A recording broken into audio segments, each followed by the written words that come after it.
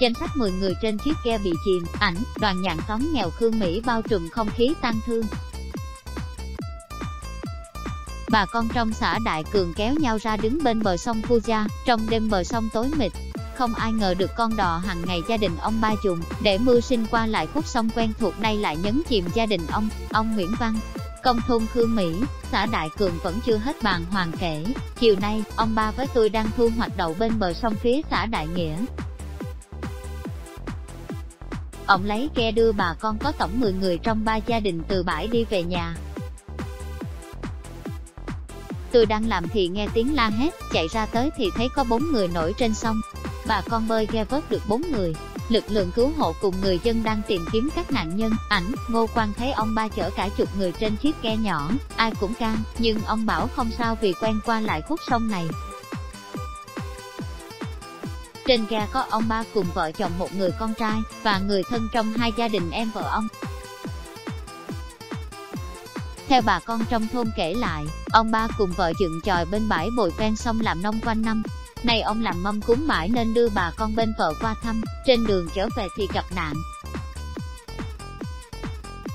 Vợ ông ba ở lại trên tròi bên bãi bồi nên không lên ghe, hay tin ghe chìm, bà ngất liệm ở bãi, ông Nguyễn Hữu Vũ, Phó Chủ tịch huyện Đại Lộc, thông tin về vụ tai nạn video, Ngô Quang theo thông tin từ Đại tá.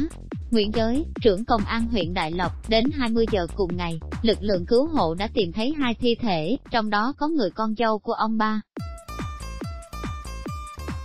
Trước đó, bốn người được người dân cứu sống đang hồi phục tích cực ở bệnh viện. Theo ông Giới, hiện khó khăn nhất là lòng sông không bằng phẳng, cho đây là khu vực khai thác cát. Nhiều chỗ cạn, cano không tìm kiếm được, chỉ dùng thuyền thô sơ. Trời đang lạnh, rất khó khăn cho đội lặn tìm kiếm.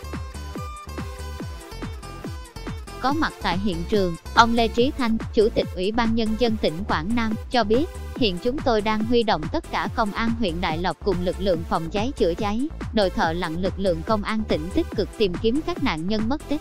Sau khi nhận được báo cáo của Ban An toàn Giao thông tỉnh Quảng Nam về vụ chìm đò trên sông Puja, Phó Thủ tướng Thường trực Chính phủ, Chủ tịch Ủy ban An toàn Giao thông Quốc gia Trương Hòa Bình đã phân công ông Quốc Việt Hùng Phó Chủ tịch, chuyên trách Ủy ban An toàn Giao thông Quốc gia cùng lãnh đạo các đơn vị chức năng của Bộ Giao thông Vận tải, Cục Đường Thủy Nội địa Việt Nam tới hiện trường, phối hợp với Ban An toàn Giao thông tỉnh Quảng Nam chỉ đạo khắc phục hậu quả, chuyển lời chia buồn của Phó Thủ tướng Trương Hòa Bình và Bộ trưởng Bộ Giao thông Vận tải Nguyễn Văn Thể đến gia đình những nạn nhân tử vong trong vụ việc.